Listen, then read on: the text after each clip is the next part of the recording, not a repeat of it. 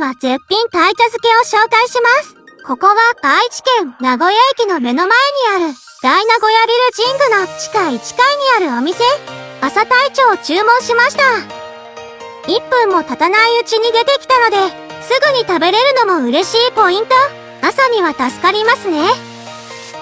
タイにごまだれがついてます。このごまだれが美味しすぎるんですよ。ひじきとタイのそぼろもついてます。赤だしの味噌汁も。ご飯の上にタイを乗せて、お茶漬けにします。美味しすぎてさらっと食べれちゃいます。あと、ご飯のおかわりが自由なので、朝からパワーをつけたい方には超おすすめ。ごまだれも追加できちゃうよ。